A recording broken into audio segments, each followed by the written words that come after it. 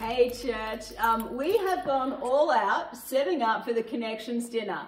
No, not really. Actually, this is the young adults. I don't know if you know, but they meet once a month to share a meal.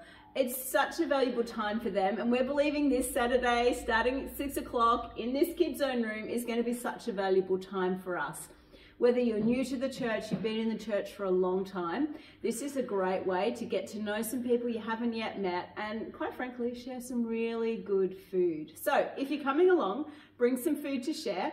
Um, if you're able, if you're not, there'll be a couple of people that can probably carry you. It'll be fine this time. Um, you know, think big pasta bakes or curries, something that's delicious, um, and we'll feed a few people. Hey, hope you can make it this Saturday for our Connections dinner.